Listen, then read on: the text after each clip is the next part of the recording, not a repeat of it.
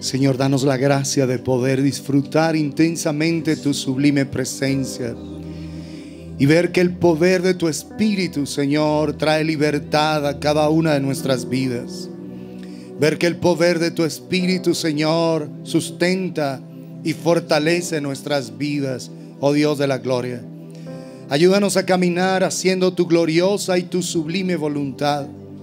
Ayúdanos a traer honor y respeto a tu santo nombre y que la manera en la que nosotros nos conducimos en esta tierra, bendito Dios de la gloria, sea una manera en la que trae honor y alabanza a tu santo y a tu sublime nombre. Te pedimos, Señor, que nos ayudes a ser genuinamente conscientes de ti y a disfrutar cada vez con mayor intensidad tu gloriosa y tu sublime presencia. Permite, Señor, que nosotros podamos disfrutar de ti, de tu gracia, de tu amor, de tu bondad, Padre Celestial. Y como hijos tuyos, oh Dios, vivimos para alabanza de la gloria de tu nombre. Vivimos para traer honor y exaltación a tu nombre en esta generación. Bendícenos, Padre, en esta tarde. Por tu gracia, nosotros lo rogamos. En el nombre bendito de Jesucristo, nuestro Señor y Salvador eterno. Amén. Y amén. Buenas tardes, amados, amadas del Señor.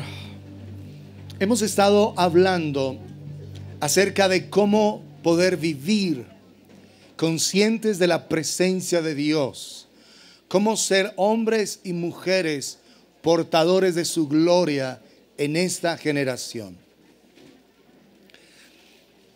Y hay un capítulo en la escritura que nos señala cómo nosotros podemos ser hombres y mujeres guiados por el Espíritu Santo de Dios y cómo permanecer en esa gloriosa presencia de Dios, siendo conscientes de Él.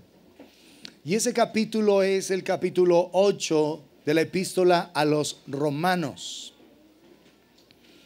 Es un capítulo extraordinario donde nos manifiesta cómo una persona vive guiada por el Espíritu Santo del Señor. Pero antes de llegar allí, debemos entender por qué el Señor guió al apóstol a llegar a ese capítulo tan precioso de cómo vivir en el Espíritu. Del capítulo 1 de Romanos, vemos cómo el Señor se ha revelado a los seres humanos, cómo Él se ha dado a conocer, pero la humanidad ha decidido cerrar el corazón a Dios cerrar su corazón a su gracia y por ende la mayoría de los seres humanos ha caído en un juicio, que es el juicio del endurecimiento de corazón. Gente con la mente entenebrecida, con el entendimiento entenebrecido, para que no les resplandezca la luz gloriosa del Señor. Así que el capítulo 1 muestra cómo el hombre es tan responsable delante de Dios cerrándose a su revelación. El capítulo 2 de Romanos nos habla de que ningún ser humano tiene excusa delante del Señor, que todos nosotros no podemos pararnos a señalar los errores y desaciertos de otros por cuanto somos responsables. El capítulo 3 muestra que todos los seres humanos somos pecadores, que no hay justo ni aun uno, y que por ser pecadores estamos destituidos de la gloria de Dios. Que nos acercamos a Dios no por nuestra propia capacidad, sino porque fue el Señor el que se acercó a nosotros. Así de que del capítulo 1 al 3, lo que muestra la escritura es cuán responsable es el ser humano delante de Dios y que cada ser humano es pecador, es un responsable ante el Señor. Y por ende, dice Romanos 3:23, que por cuanto hemos pecado, quedamos destituidos de la gloria de Dios. En el capítulo 4, el Señor guía al apóstol a hablar de Abraham, un ser humano común y corriente, un ser humano que es pecador, pero como él creyó al Señor y como a través de su fe, él, esa fe le fue contada por justicia. Como él pudo, siendo un ser humano común y corriente, llegar a ser un hombre al que Dios llamó amigo de Dios, el padre de la fe. Un hombre que la escritura no le esconde ninguno de sus pecados, ninguno de sus desaciertos, sino que todo lo contrario, muestra que era una persona común y corriente, pero llegó a ser el padre de la fe. Y como por la fe, entonces él llegó a agradar verdaderamente al Señor. Y lo presenta entonces como un modelo. Si un hombre pecador común y corriente llegó a ser el padre de la fe, es la esperanza que tenemos cada uno de nosotros los creyentes al caminar siguiendo el ejemplo de un hombre normal, absolutamente normal. Normal con desaciertos, normal al punto de que es el padre de la fe hoy, pero un día estuvo dispuesto a que su esposa se acostara con otro hombre, con el faraón, con tal que a él le fuera bien. Ese es el padre de la fe, imagínate. Y no lo hizo una vez, lo hizo dos veces. Lo hizo en Egipto. ¿Qué pensaría una mujer que su esposo le diga, oye, pues ve y acuéstate y ¿qué, vamos a hacer? No es que me van a matar. Se sentiría muy honrada, ¿verdad? Ese es Abraham, un hombre que en su debilidad estaba desconfiando de Dios, pero ese hombre débil llegó a confiar completamente en el Señor y fue un hombre totalmente transformado. El capítulo 5 habla de que por la fe, ya mostrando a Abraham como el ejemplo, nosotros somos justificados, somos declarados por la fe en Jesucristo justos. Es decir, hombres y mujeres justos por la obra de Jesús, como si nosotros nunca hubiéramos pecado. Así que por esa obra de Jesús nos podemos acercar verdaderamente a su gloriosa y sublime presencia.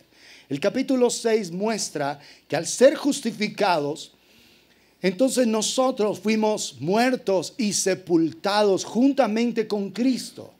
Morimos al pecado, morimos a una vida de maldad, morimos a nuestra antigua vida para poder participar del poder de su resurrección. Y por eso llega a declarar el apóstol allí en Romanos 6, considerados muertos al pecado, pero vivos para Dios en Cristo Jesús, Señor nuestro. Morimos en Cristo, pero para participar del poder de su resurrección. El capítulo 7 de Romanos ha sido un capítulo muy mal entendido por el pueblo cristiano. Porque mucha gente asume que Romanos 7, específicamente del verso 15 al 24, es la manera en la que una persona vive su vida cristiana.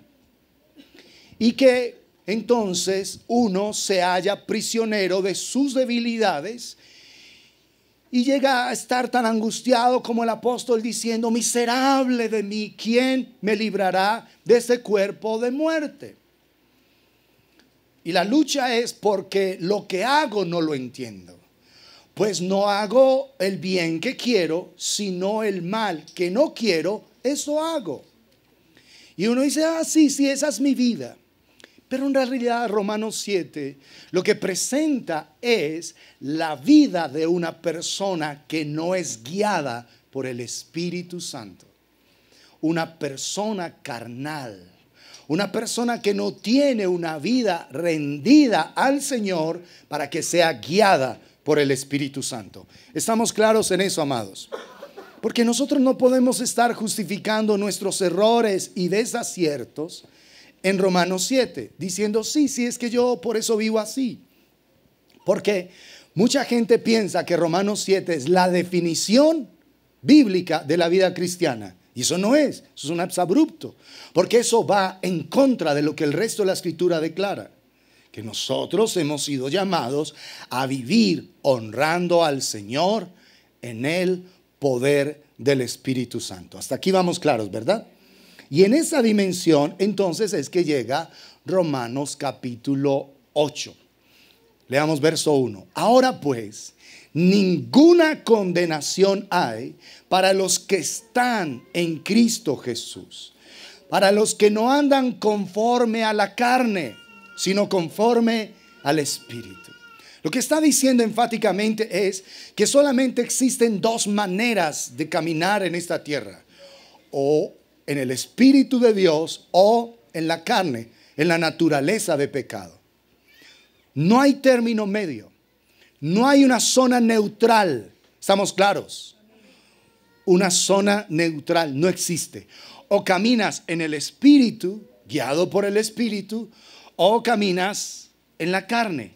No hay término medio. Miren lo que dice el verso 14. Porque todos los que son guiados por el Espíritu de Dios, estos son hijos de Dios. Y uno dice, ¿cómo podemos ser guiados por el Espíritu Santo? Dios es la más grande realidad del universo. Así que si Dios es la más grande realidad, lo más real que existe en el universo, no debería resultarnos difícil conectarnos con Él. Pero ¿por qué no nos conectamos con el Señor? Porque el enfoque de nuestro corazón, de nuestra mente, está en algo o en alguien distinto al Señor. Vimos hace ocho días que aún Jesús, siendo el Hijo de Dios, le tocó trabajar como un ser humano normal. Por eso fue llamado un carpintero. Pero ya explicamos que carpintero no es lo que nosotros concebimos. Porque carpintero es la palabra tecton. De donde viene la palabra para nuestro español arquitecto, un constructor. Así que Jesús, más que dedicarse a trabajar con la madera, literalmente fue un constructor de hogares. Es decir, le tocó trabajar la parte dura de la construcción. Y tú sabes que ese trabajo es, por un lado, pesado y rodeado de personas difíciles. Ahora, piénsalo hace dos mil años. Si hoy día es pesado, y el ambiente es complicado, es difícil de trabajar. Ahora hace dos mil años. Y trabajando para los romanos, donde lo que querían era explotar la mano de obra. Jesús trabajó y honró al Padre, aún en medio de las condiciones más adversas. Tú puedes decir, es que a mí se me dificulta caminar en el Espíritu por mis jefes por mis compañeros, porque el ambiente de trabajo en el que yo me desenvuelvo es demasiado difícil. Mentira. Jesús caminó en el Espíritu a pesar de estar trabajando para los romanos. ¿Por qué digo esto? Porque los estudiosos dicen que en los días de Jesús se estaba construyendo una ciudad a unos 5 kilómetros de Nazaret, una gran villa romana. Y ustedes saben que la construcción romana toda tenía la misma estructura, porque la mentalidad de los ingenieros y constructores romanos era que si algún día César llegara, el César, no César Castaño, ni, sino el César romano, llegara a visitar ese lugar, se sintiera como si estuviese en Roma. Por eso es que toda la estructura arquitectónica de las antiguas ciudades tienen la misma connotación.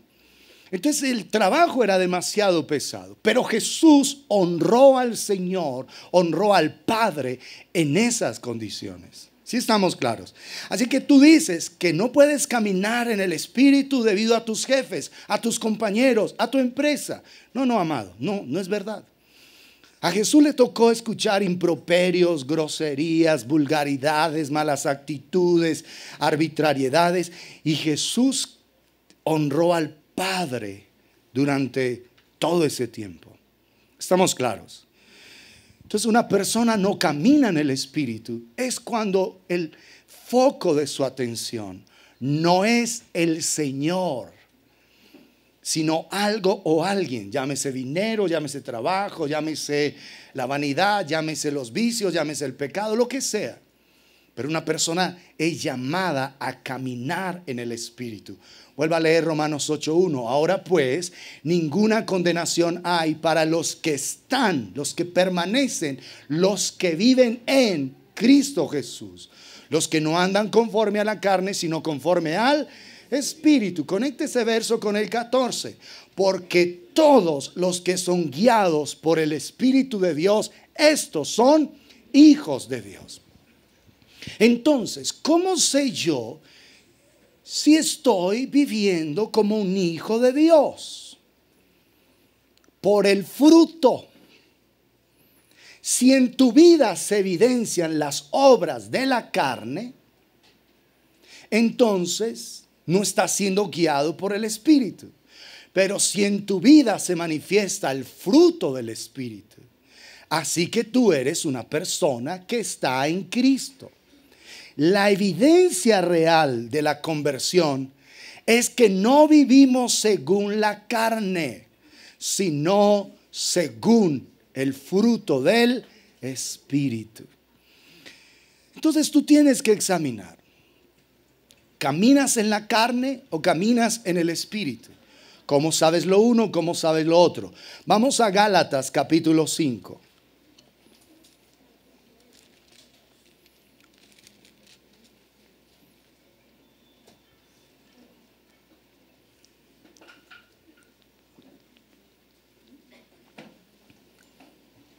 Verso 16. Digo pues, andad en el Espíritu y no satisfagáis los deseos de la carne. ¿Qué es andar en el Espíritu?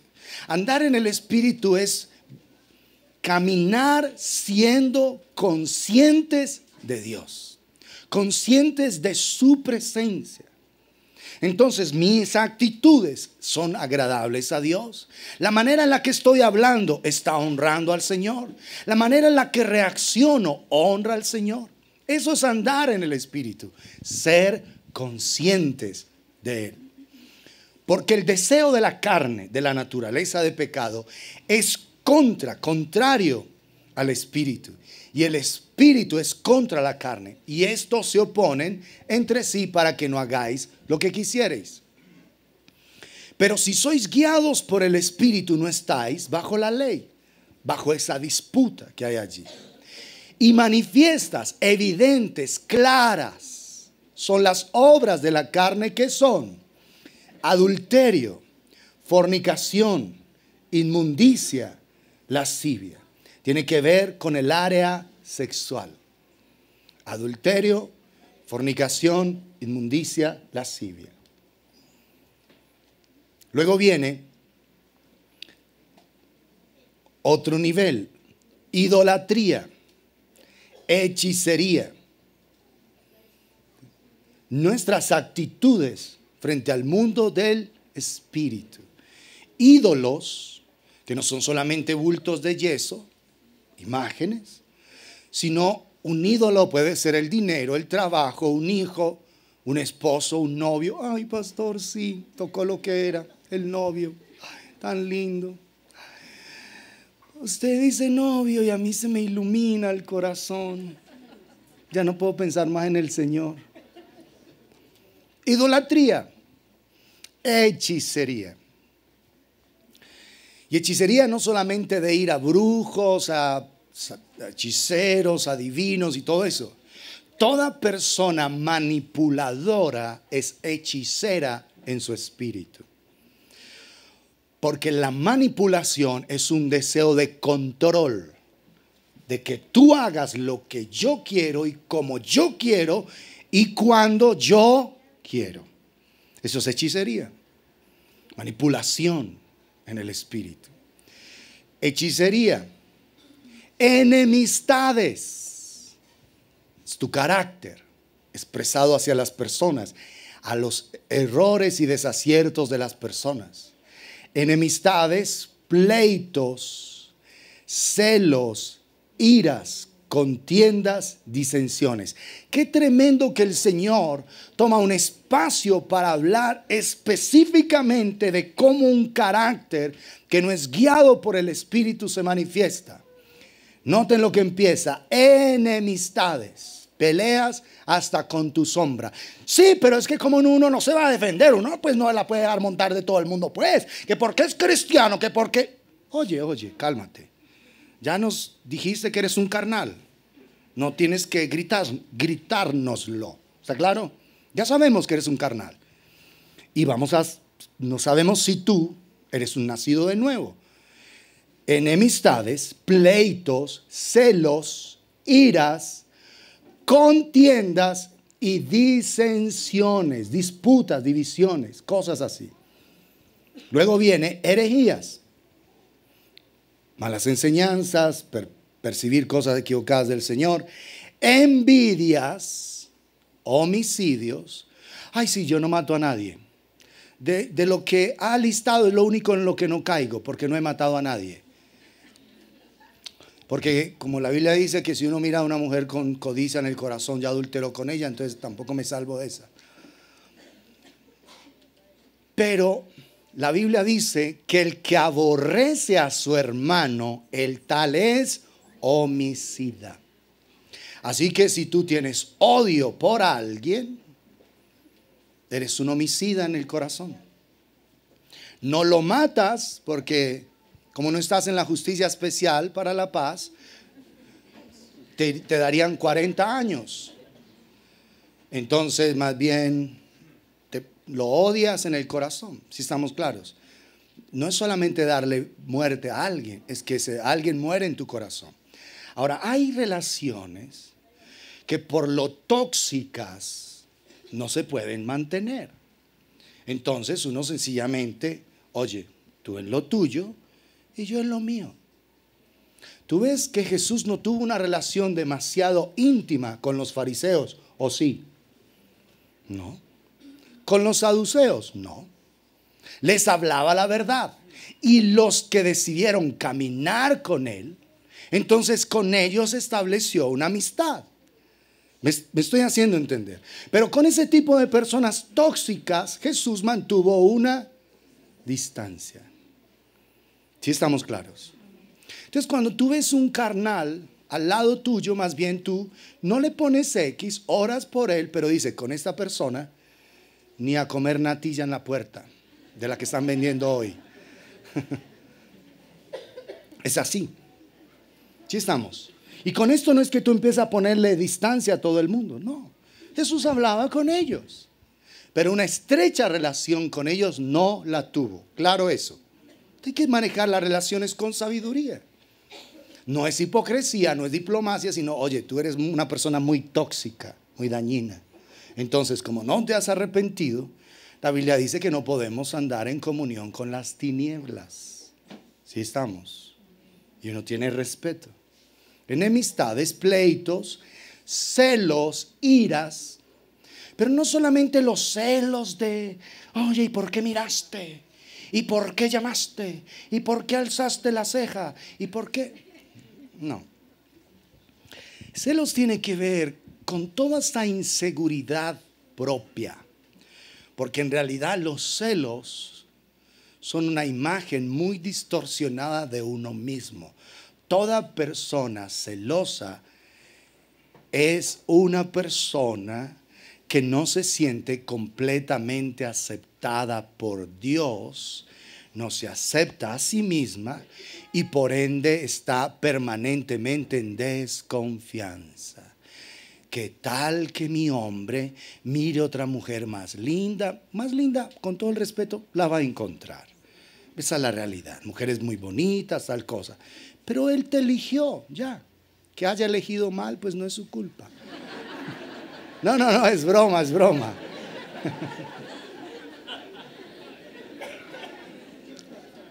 No, no, no, no, es broma. Pero tú no tienes que estar en ese sentido porque tú, tú vales, no por tu belleza física. Si fuera así, entonces habrían personas hipervaliosas y entonces otras no valen nada. No, todos somos infinitamente valiosos porque valemos la sangre del Cordero de Dios derramada en la cruz del Calvario. ¿Estamos claros? Los celos son un sentimiento de inferioridad. Te sientes inferior a. Y la escritura dice que Él nos amó de tal manera que entregó a su Hijo. Eso es suficiente para que cada uno tenga un sentido correcto de dignidad. Celos. ¿Qué más sigue? Iras. Imagínate, está hablando de enemistades, pleitos, celos, iras, contiendas, disensiones.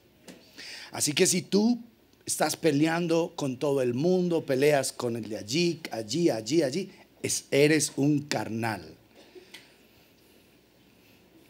Y no tienes que disculparte, porque es que para pelear siempre se necesitan dos. Si la persona te pone a pleito, si tú eres una persona del espíritu, tú no peleas. Pero si eres igual de carnal que el otro que te está poniendo problema, entonces peleas. Son dos carnales ahí sacando de chispas.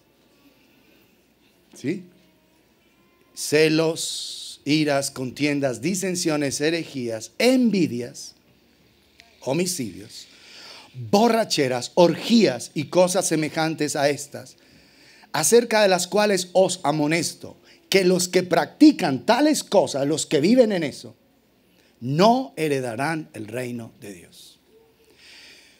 Si tú en un momento dado te disgustas, estás desconectado de Dios y dices lo que no debes, pero si te disgustas todos los días y todos los días dices lo que no debes, eres un carnal. Bueno, no es todos los días, por lo menos tres veces al mes, eres un carnal. Porque Romanos 6 dice, consideraos muertos al pecado, pero vivos para Dios en Cristo Jesús. No es que usted no sabe dónde yo trabajo, usted no conoce mi esposa, no conoce mis hijos, usted no conoce mis jefes. El modelo es Jesús. Y Jesús nunca deshonró al Padre en una difícil tarea como la que él tenía. ¿Estamos claros? Así que si nosotros somos el templo del Espíritu Santo, es el poder de Dios transformando nuestras vidas. ¿Qué es que me saca mucho la piedra? Sí, para eso tenemos algo maravilloso que se llama el Espíritu Santo, dominio propio. Aquí viene lo que sigue. Más el fruto del Espíritu. O sea, por un lado las obras de la carne. Y aquí está al otro lado el fruto del Espíritu. Amor, gozo, paz, paciencia, benignidad, bondad, fe, mansedumbre, templanza. Contra tales cosas no hay ley. Pero los que son de Cristo, los que le pertenecen a Cristo, han crucificado qué? La carne. Si la han crucificado, ¿qué significa? Que ha muerto. Han crucificado la carne con sus delitos y deseos, con sus pasiones y deseos. Si vivimos por el Espíritu, andemos también por el Espíritu. Es lo que está diciendo el apóstol. Entonces dice Romanos 8, ninguna condenación hay para los que están en Cristo Jesús, los que no andan conforme a la carne, lo que acabamos de leer, sino conforme al Espíritu. Ay, pastor, pero si usted no conoce a mi esposo, hasta el más espiritual cae en la carne con él. Es que es un tipo pero difícil. Yo por eso me busco mi amiguito. Sí, o sea, eras adúltera por causa de tu esposo. Es lo que estás diciendo. O sea, que el Señor te va a decir, sí, sí, yo te entiendo. Tu esposo era tan difícil y por eso te volviste una cualquiera. Yo te entiendo. Vete al infierno. Eso es lo que va a entender el Señor. No estés jugando, ay, pastor, es que mi esposo, un tipo simple, simple. Tiene más gracia esta varilla de acero.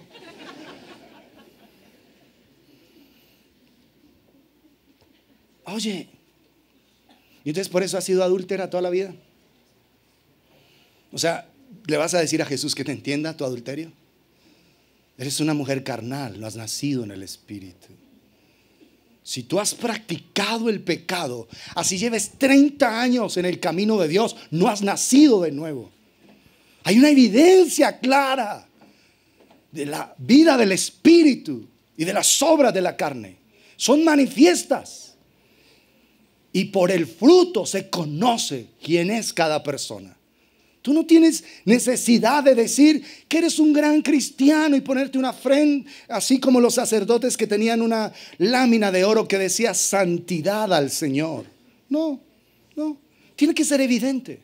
la manera en la que vives, cómo actúas, cómo reaccionas, con dulzura, con paciencia, con bondad, con amabilidad. Guarda silencio frente a los carnales, guarda silencio frente a los problemáticos, guarda silencio frente a los iracundos. Tienes dominio propio, porque es el fruto del Espíritu. ¿Estamos claros? Entonces no nos engañemos, amados. Es que yo hace 30 años conozco del Señor. Hasta he sido líder y todo. ¿Y tu vida carnal? Entonces, ¿por qué fuiste líder? Porque el Señor te dio una oportunidad para mostrarte que en su debilidad, en tu debilidad, Él podía honrar su nombre. Pero como no entendiste esa gracia, cometiste el error de Judas de pensar que su misericordia era señal de aprobación. Judas echó fuera demonios, sanó enfermos, predicó el reino de Dios y está en el infierno. ¿Estamos claros en eso? El hecho de que Dios permita que tú evidencies algunos dones del Espíritu no significa señal de aprobación. Saúl recibió un don del Señor de ser rey de Israel hasta el último segundo de su existencia. Y está en el infierno. ¿Estamos claros? No puedes tú jugar a eso. A pensar que es que yo he sido un líder y que mire. No, si eres un carnal, no entendiste la misericordia que Dios te extendió. No la entendiste. Y viste esa misericordia como señal de aprobación a tus desaciertos. No es así. ¿Qué tenías que haber hecho, Señor? Yo sé que no estoy haciendo lo correcto.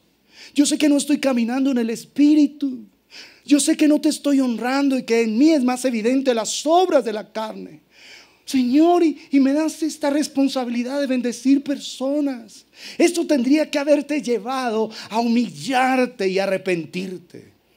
Pero por tu corazón duro y no arrepentido, acumulas ira para el día de la ira y de la revelación del justo juicio de Dios, dice Romanos 2. Así que si tú que has servido a Dios en medio de su pueblo y eres un carnal, no pienses que es una señal de aprobación. ¿Queda clarito? ¿Sí o no? Necesitamos caminar en el Espíritu y no satisfacer los deseos de la carne. A la carne le, le dan deseos de pelear, le dan deseos de fornicar, de adulterar. A la carne le dan deseos de hacer enemistades, pleitos, contiendas, celos. Todas esas cosas son deseos de la carne. ¿Y yo por qué me voy a tener que quedar callado pues como un bobo? Porque para que todo el mundo me la monte. No, olvídese. Y es que yo me tengo que quedar callado pues porque para que él barra y trapee la casa conmigo. No, pues olvídese que eso lo hice cuando yo era una boba, pero ahora no, ahora eres más boba todavía. Porque ahora tienes la verdad de Dios. Y ahora tú no le guardas silencio al patán de tu esposo. Ahora le guardas silencio al ser más sublime y glorioso que te escogió para hacerte su hija le guarda silencio es a él, no al esposo necio.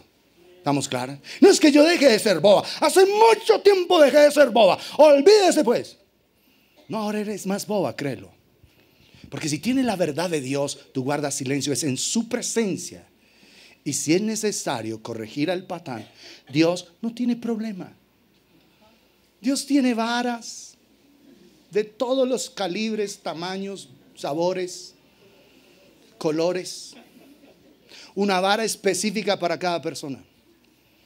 ¿Tú crees que de Dios alguien se va a burlar? El hecho es que Dios no corrige a la persona cuando tú quieres, sino cuando es el momento correcto. Porque tú a veces, hey Señor, mira lo que me hizo, mira, mira. Y mira, no, no le pasa nada, mira, yo aquí desvelada y él durmiendo.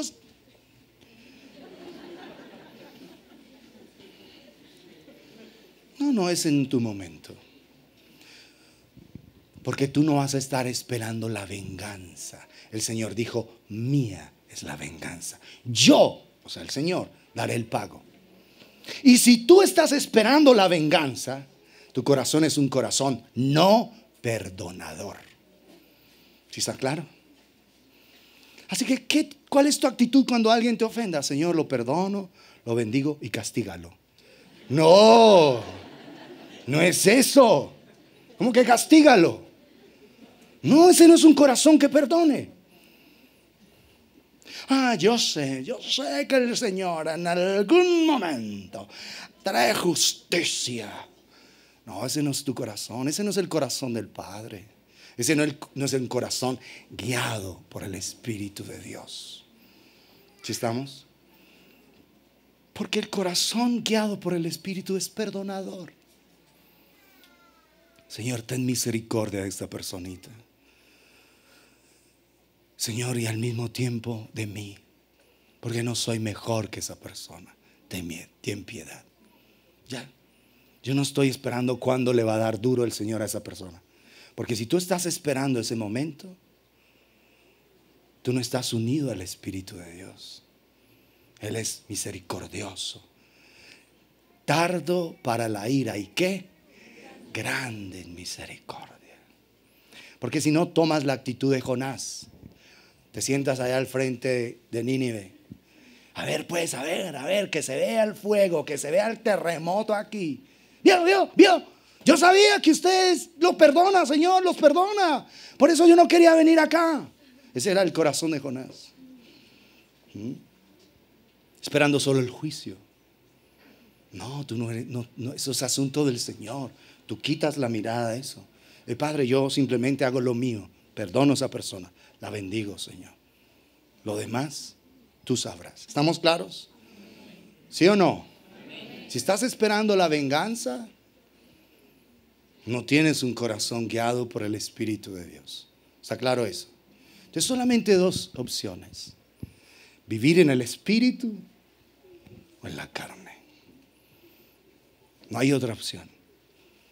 Y por eso entonces el Señor, volvemos a Romanos, nos pide que cada uno de nosotros camine guiado por el Espíritu, porque todos los que son guiados por el Espíritu de Dios, estos son hijos de Dios. Así que la evidencia de nuestra conversión, de haber nacido de nuevo, es que no vivimos según la carne, de acuerdo a los deseos carnales, a las pasiones carnales, sino por el fruto del Espíritu tu vida y mi vida en esta tierra, en Cristo, es ilustrada en una unidad con el Señor. Te unes al Señor. Primera de Corintios 6, 17 dice, pero el que se une al Señor, un espíritu es con Él. ¿Me vas a decir que eres una persona nacida de nuevo y vives frustrada, insatisfecha, con un desazón interno?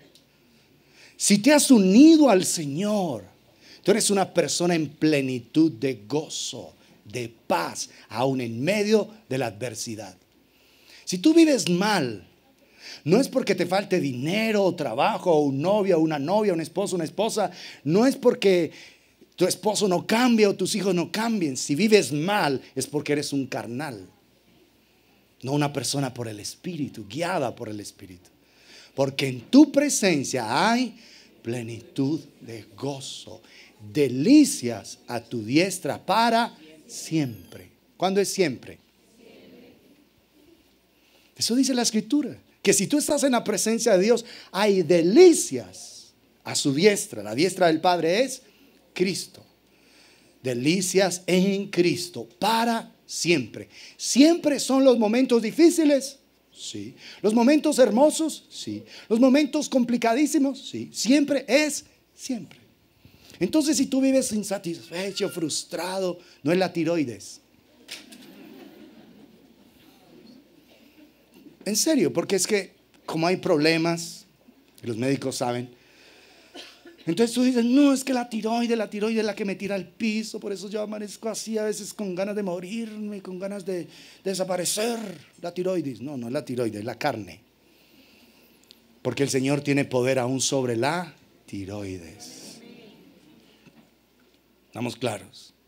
No es que yo quisiera como morirme, hoy amanecí que quiero como morder a todo el mundo. Tengo una piedrita así que no es ni tan menudita. Es carne. Ve al Espíritu. Señor, aun si es mi tiroides, por tu gracia, Padre, pon en orden esta tiroides, Señor. Ayúdame a vivir conforme a tu voluntad. Porque tú puedes escudarte en cualquier cosa para vivir mal. No es que son los traumas de mi niñez, es que es mi esposo, es que es este perro que no me deja dormir. Bueno, la inyección es la solución. No, no, no, tú sabes que no. Tú no puedes justificarte en nada, ¿entiendes eso? Busca al Señor.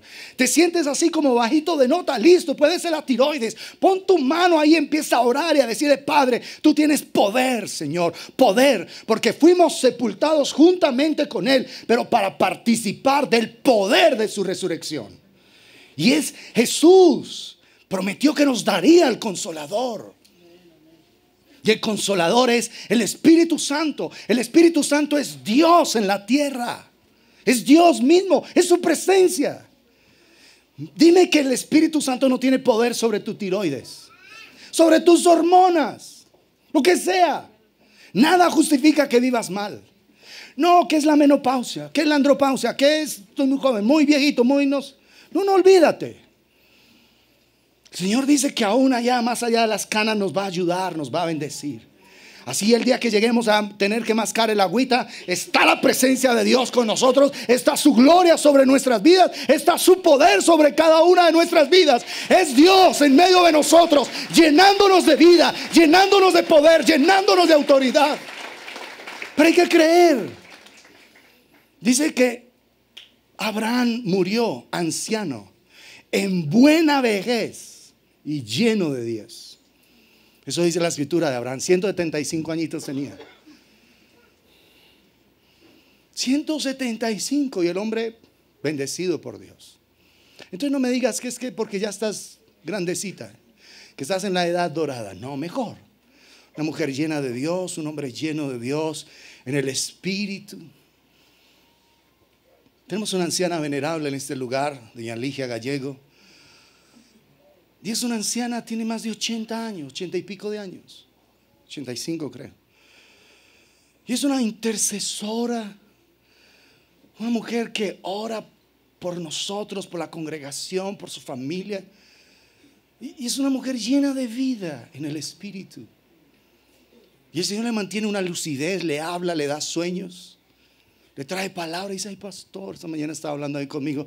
Me dice que el Señor me dijo esto y esto y esto a esta edad, tiene que usar ya audífonos, pero tiene clara la voz de Dios al interior de su ser.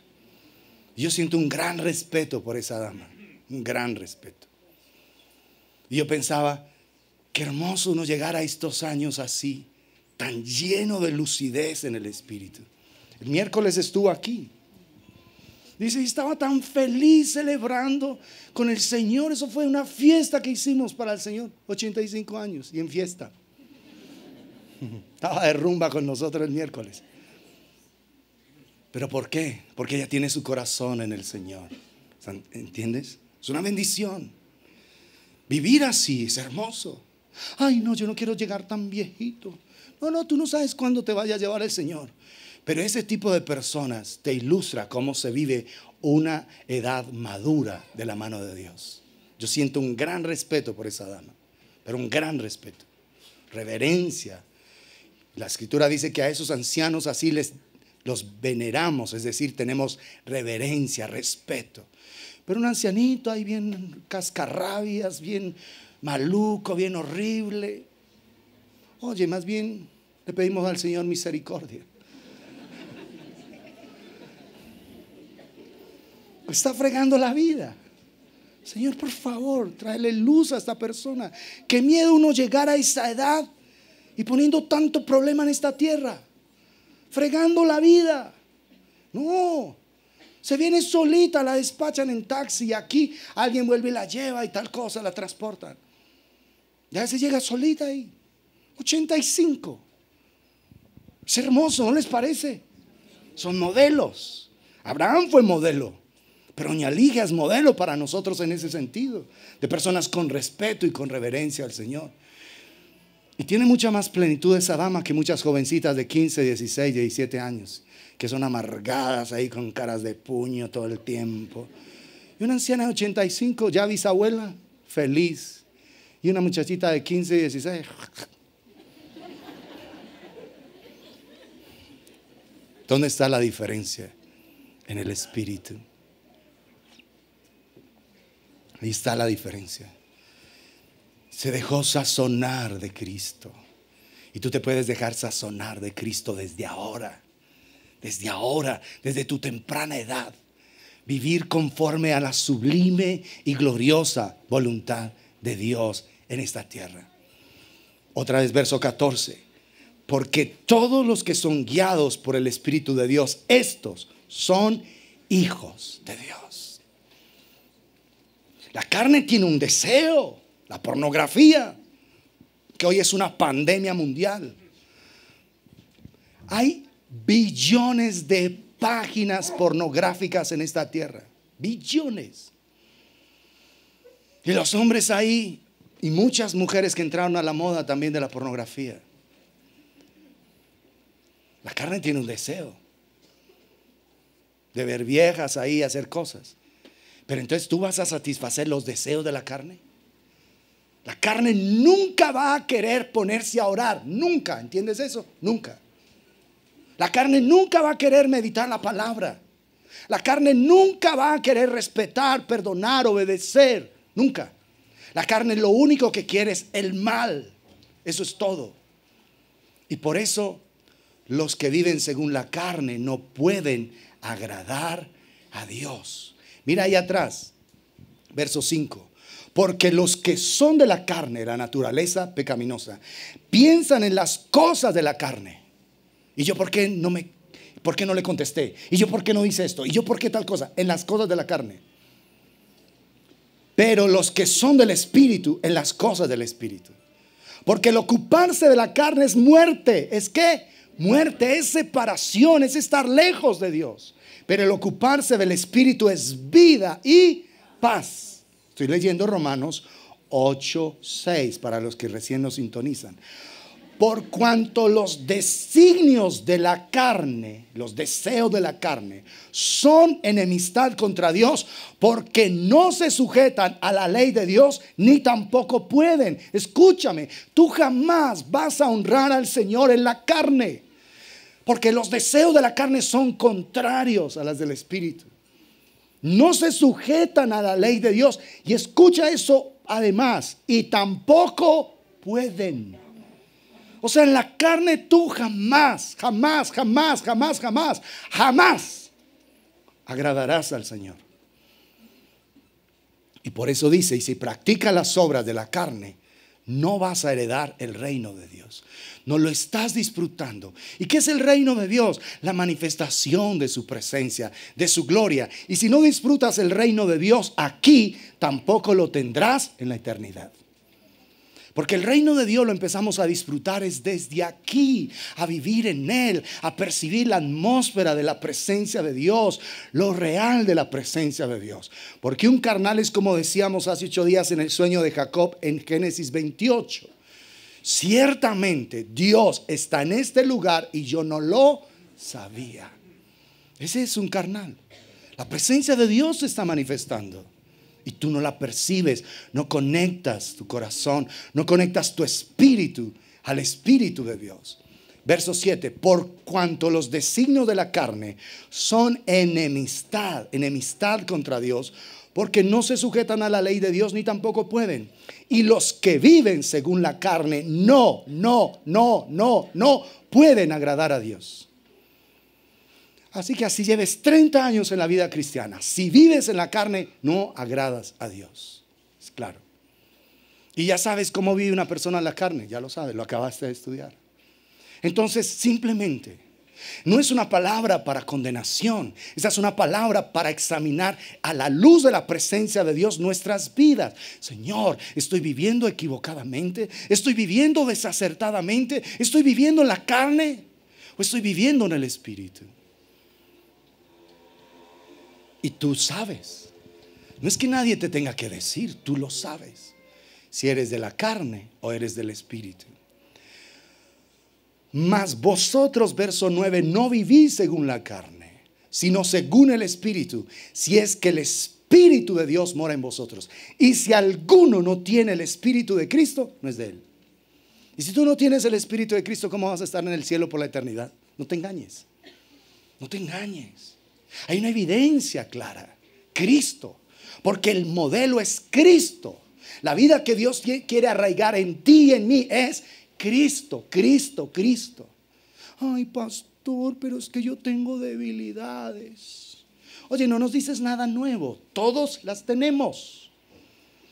Porque la naturaleza humana es débil. Y Romanos 11:32 dice que Dios nos sujetó a todos. ¿Cuántos? Todos en desobediencia para tener misericordia de todos. Es decir, que haber nacido pecadores acentúa en cada uno de nosotros la necesidad de Dios. No es para que el pecado nos gobierne, porque nacimos pecadores, pero escúchame, no para ser dominados por el pecado. Nacimos pecadores para que en tu corazón y en el mío se acentúe la profunda necesidad de buscar al Señor, de buscar su presencia, de decirle, transfórmame. Yo tengo un carácter muy fuerte. Yo soy de esa mujer que voltea el salmón con la mano. Yo soy de esas. Yo soy de las que plancha con la mano y le quedan las camisas a mi esposo como almidonadas. Yo soy de esas. Ese es mi carácter. Pero Señor, esto es contrario a tu voluntad. Ayúdame, ten piedad de mí, fortaléceme, oh Dios de misericordia. Y vienes a humillarte y a buscar su presencia día tras día para que haya una transformación completa y total en tu vida. Pero no te camufles en una iglesia cristiana. No te camufles creyendo que eres muy cristiano, muy cristiana cuando las obras que practicas son de la carne. No te hace cristiano el entrar a un recinto donde se congrega el pueblo de Dios. Igual que no te hace una tractomula parqueado en, un, en un lugar donde ellas se hacen. No te hace médico el hecho de entrar a un hospital. No te hace un cristiano el entrar aquí, ¿está claro eso? Es tu vida con Dios, es tu relación con Él, es tu intimidad con Él. Porque la vida cristiana es una vida relacional, es una vida de establecer una profunda relación con Dios día tras día, de aprender a escucharlo, de aprender a sentir su presencia, a escuchar su voz. Porque Jesús dijo en Juan 10, mis ovejas oyen mi voz y yo las conozco y ellas me siguen y yo les doy vida eterna. ¿Y cómo tú vas a oír la voz de Dios? Si esta es la voz de Dios, su palabra es la voz de Dios y tú no la lees. Ay, es que yo empiezo a leer la Biblia y me da un sueño. Yo no. Yo sí leía la Biblia antes, pero ahora ya no. Hemos dicho que si lees solo cuatro capítulos, cuatro, uno, dos, tres y cuatro, tres más uno capítulos por día, en un año lees toda la escritura, solo cuatro. Si lees siete, terminas en seis meses. Así que si te propone leer siete capítulos de la escritura meditando en ella por día, en un año habrás leído dos veces la escritura. Y no empiezas a echar cuento, ay, no, es que ayer, bueno, entonces hoy leo los siete de hoy y los siete de ayer que no leí. Y ya 14 te parecen complicados. Y dices, ay, bueno, no, pero es que como este fin de semana estoy de paseo, entonces son 21. Te aseguro, echaste carreta. Porque esto se forma es en disciplina. ¿Cómo no se te olvida desayunar? ¿Cómo no se te olvida bañarte? Bueno, eso espero, ¿no? ¿Cómo no se te olvida cepillarte los dientes? También lo espero, ¿eh? ¿Cómo se te va a olvidar meditar la palabra? ¿Está claro? No, amado. No, no te engañes. Vuélvete una persona que medita la escritura, porque aquí está inicialmente la voz de Dios. Cuando tú te familiarizas con la voz de Dios en su palabra, que Dios te trae revelación de ella, entonces vas a escuchar claramente su voz en momentos específicos para decisiones específicas. Porque el Señor te puede decir, hijo, acuérdate que yo puse delante de ti la vida y la muerte, la bendición, la maldición. Escoge la vida para que vivas tú y tu familia. Ay, sí, Padre, esta decisión es de muerte, así que ya, me hablaste. ¿Sí está claro?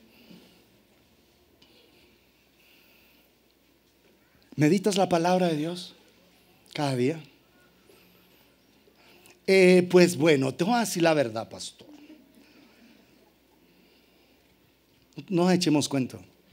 ¿Cómo vas a escuchar su voz guiándote si aborreces su palabra? Eres un carnal. Ay, no, pero es que yo estoy demasiado ocupado. Me levanto muy temprano. Me acuesto muy tarde. Tengo que hacer esto, esto, esto. Tú sacas tiempo para lo que en realidad es importante para ti. Estás muy ocupado y no se te olvida almorzar. Estás muy ocupado y no se te olvida comprar. No saques excusas. Ya se va a acabar el año. Estamos a dos mesecitos menos. Tienes tiempo de empezar a meditar profundamente la palabra y de terminar este año haciendo lo correcto delante de Dios. Pastor, pero es que llegó la natilla. Y uno en tiempo de natilla, pues uno se relaja, todo, tú sabes. ¿Por qué? Como cuando estás enamorado comiendo natilla, estás pensando en quién amas o no o porque comiste natilla, estás de vacaciones. No, por allá estás buscando señal, te subes a una montaña. A ver, a ver, que le llegue el mensaje, porque es que por aquí no entra. Que le llegue. Estás pensando en esa persona. Cualquier lugar es bueno para el amor. Cualquier lugar para expresarle gratitud, admiración, respeto, honra a ese ser precioso. Y si tú te vas de vacaciones a una playa, mejor todavía. Ver los amaneceres en esos lugares, son ensueños. Los atardeceres. Oír el rugir de las olas, el viento, las palmeras, no, fantástico. Con Dios. Fantástico. O sea, ¿cómo vas a salir de vacaciones espirituales? Si tú sales de vacaciones espirituales, eres un carnal. Te lo digo así, con amor y cariño. Porque eso no existe. ¿Cómo no sales a vacaciones cuando estás enamorado? Y dices, ay, te estoy pensando. Coge una servilleta la escribe. Estoy pensando en ti. Y luego le dice, mira, te voy a mostrar todos los momentos en que estaba pensando en ti. Le saca un bulto. Esto fue cuando estábamos allá, esto fue cuando fuimos allá. Mira, ¿Viste, mi amor? ¿Y por qué con un ser tan glorioso como Dios? Un ser sublime como Él. Tú no vas a estar expresándole permanentemente los mejores afectos, los mejores deseos desde tu corazón. Es que es hermoso estar enamorado del Señor. Esto no es un cuento. Esto no es una posibilidad, esto es una realidad. Por eso les hablé de Romanos 4. Abraham se convirtió en el padre de la fe. ¿Quién era? el que estuvo dispuesto a que su esposa hermosa se acostara con otro y recibió la dote. Recibió ovejas, camellos, asnas, siervos, siervas por causa de la esposa. Dijo, mi amor, pues tocó, vaya. Manéjese bien. Ese hombre con esa debilidad en Dios llegó a ser el padre de la fe. ¿Tuvo fe cuando mandó a su mujer a acostarse con otro? ¿Tuvo fe? Con Faraón. Y luego la mandó a acostarse con Abimelech. Y el Señor le dijo, muerto eres, le dijo a Abimelech, a causa de la mujer. dice, Señor, pero es que mm, el hombre está gagueando en el sueño. Y dice, Señor, pero, pero es que, que no nos dijo nada. Tú vas a matar al inocente. Y le dijo, pero si no la devuelves, todos van a morir. Yo, no, Señor, por las buenas yo la devuelvo. Ese fue el padre de la fe. ¿No te parece hermoso? Mensaje glorioso de esperanza. Pero él aprendió a caminar con Dios todos los días de su vida. Todos los días. Todos los días. Estando en su sublime presencia. Contemplando al Señor, escuchándolo. Al punto de que un día le dijo, yo quiero que me ofrezcas a tu hijo Isaac, tu único a quien amas. Digo, Señor, lo que tú quieres. ¿Sabes con qué esperanza se fue Abraham, dice Hebreos 11? Con la esperanza de que Dios es poderoso para resucitarlo aún de entre los muertos. A ese momento la escritura no registra que hubiese habido alguna resurrección. No lo registra. Pero Abraham tenía fe en que, en el Señor podía resucitar a su hijo. Y dice Hebreos, de donde en sentido figurado lo recibió, porque había muerto en su corazón. Pero ¿qué le está revelando el Señor allá a Abraham en Génesis 22? Toda la obra de la cruz. Un padre con un único hijo a quien ama apasionadamente y ese hijo se ofrece voluntariamente en sacrificio por decisión de su padre.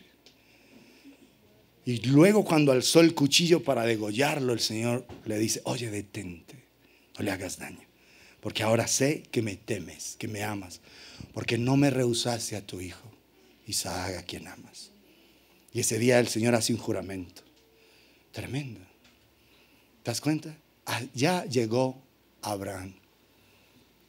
Esa es nuestra esperanza que si aprendemos a disfrutar de la vida de Dios en el Espíritu, vamos a ser completamente transformados. Es aprender a buscar espacio en la presencia de Dios. Porque Jesús dice allá en Juan 10, mis ovejas oyen mi voz y yo las conozco, es decir, tenemos una relación íntima los dos. Y ellas me siguen y yo les doy vida eterna. ¿Qué es la vida eterna? Juan 17, 3. Esta es la vida eterna, que te conozcan a ti, el único Dios verdadero. Es decir, que tengan una relación personal contigo y con Jesucristo, a quien has enviado. Caminar con Jesús, ¿qué nos da? Vida eterna. Un conocimiento cada vez más profundo de Él. Una relación cada vez más intensa.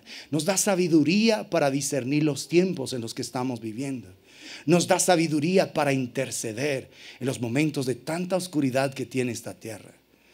Nos ayuda a discernir las cosas para los hijos, el esposo, la esposa, la empresa. Nos ayuda a tomar sabias decisiones. Porque Él dijo, mis ovejas oyen mi voz y yo las conozco y ellas me siguen. ¿Se dan cuenta? Es una relación personal. Me siguen. Vamos siguiendo las pisadas del dulce pastor de nuestras almas.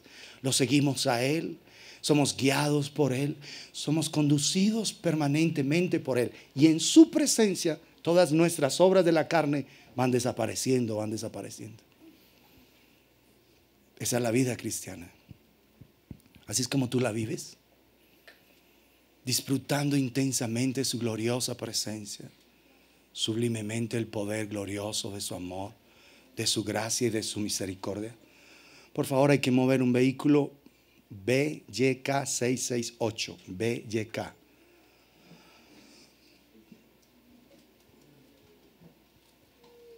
¿Vives en plenitud?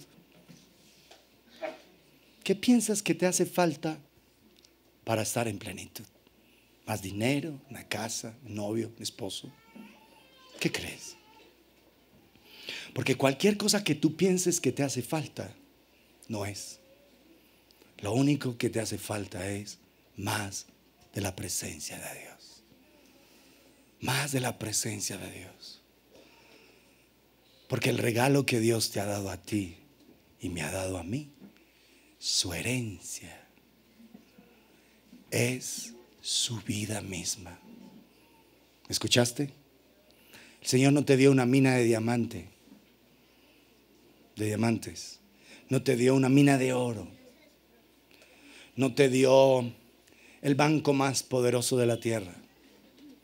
Lo que el Señor te dio como regalo, como herencia, es su propia vida. ¿Me vas a decir que teniendo a Jesús en tu corazón, vas a vivir mal en esta tierra? Si teniéndolo a Él, lo tienes todo. ¿Lo puedes creer? Lo tienes todo. Ay, sí, yo teniendo a Jesús lo tengo todo. Sí, sí. Entonces, ¿por qué vives tan maluco? ¿Por qué eres tan impaciente? ¿Por qué tan amargado, amargada? Si lo tienes todo en Jesús. Esto no es de teoría, esto es una realidad. ¿Para quién?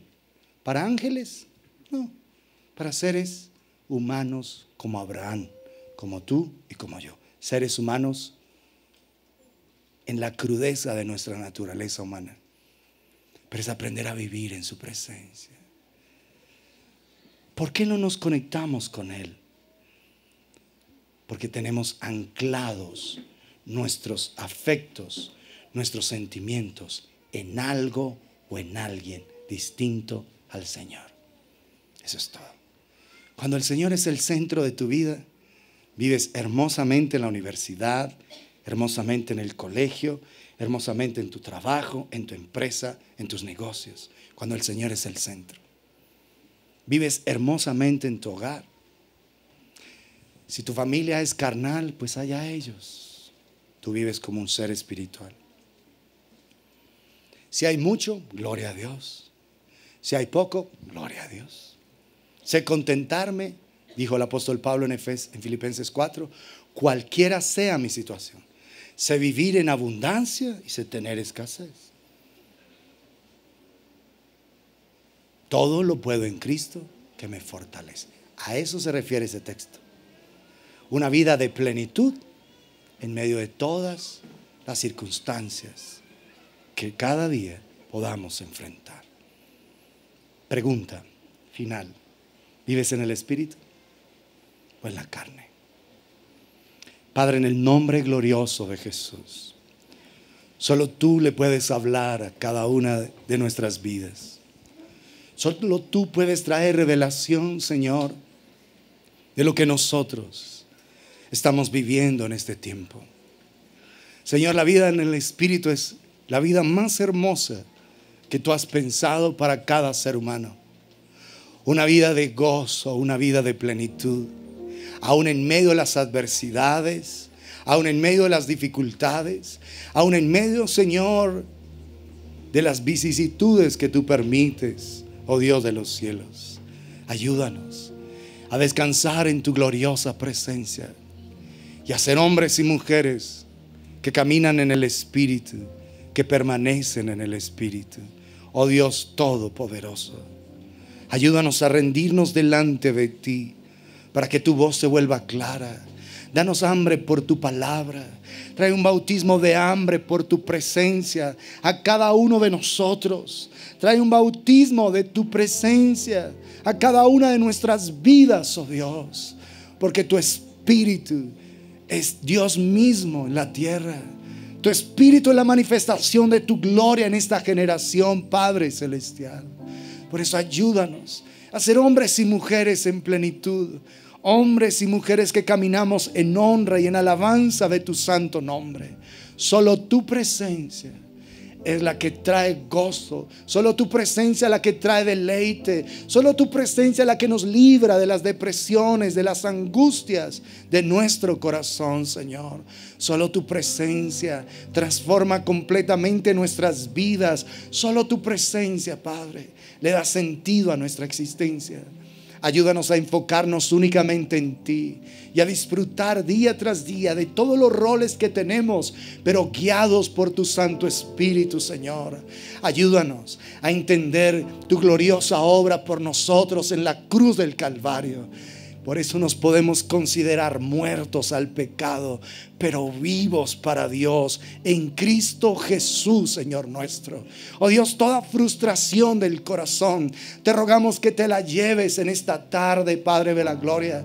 Toda esa desazón interna, Señor, llévatela y danos la gracia de ser hombres y mujeres en plenitud, no importando las circunstancias que nos rodean, no importando, Señor, las circunstancias, bendito Dios, que tenemos que enfrentar a diario. Ayúdanos a saber que tú estarías con nosotros todos los días hasta el fin. Que tú lo prometiste, Padre. Y aún esas situaciones difíciles nos ayudan para nuestro bien. Porque tu anhelo es conformarnos a la gloriosa imagen de Jesucristo. Tu anhelo, Señor, es que nosotros podamos vivir en el Espíritu, permanecer en el Espíritu. Y que ninguno de nosotros esté satisfaciendo los deseos de la carne. Haznos hombres y mujeres del Espíritu. Hombres y mujeres que andamos conscientes de ti, conscientes de tu consejo, poniendo tu palabra por obra, Señor. Ayúdanos a ser ese pueblo que de verdad manifiesta tu gloria en esta tierra, que manifiesta tu gloria donde quiera que vamos, donde quiera que estamos, oh Dios Todopoderoso. Permite tu presencia sobre nuestras vidas. Permite tu presencia en cada uno de nosotros. Oh Dios Todopoderoso, danos esa bendita gracia. Danos esa bendita gracia de estar cerca de ti, de permanecer delante de ti cada día. Ayúdanos a ser hombres y mujeres guiadas. Bendito Dios por el poder de tu Santo Espíritu. Guiadas por el poder de tu Espíritu, Padre de la Gloria. Padre, por tu bendita misericordia, ayúdanos a ser conscientes de ti y a entender que tu anhelo es que tengamos profunda comunión contigo.